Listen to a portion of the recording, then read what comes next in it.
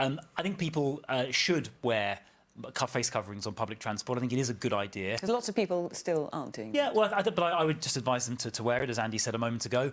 I think it, uh, it- you know, it, there is a there is a fair chance it will help if they happen to have coronavirus. It'll potentially stop it from transmitting. I think it gives people confidence to go onto public transport if they see people, other people are being. Uh, careful. It also just serves as a kind of prompt, a reminder um, that we're not in life as normal at the moment. We do need to behave differently, wash our hands more frequently, be careful, stay alert as um, at the moment. And then the face covering serves as a sort of reminder.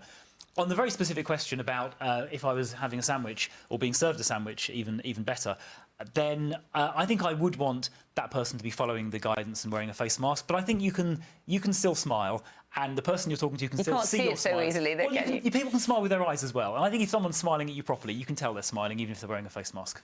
So at the moment, it, it's a, a recommendation on the part of, of the Yeah. government and, and you know, in enclosed spaces. Can you see it going further than that? Well, again, I think we have to be guided by the scientific advice, and if there is compelling evidence that it should be uh, compulsory in the future, I'm sure the government would follow that advice. But it really must, as always, be led by the science, and that applies here as much as it applies in all the other areas we've talked about this evening. So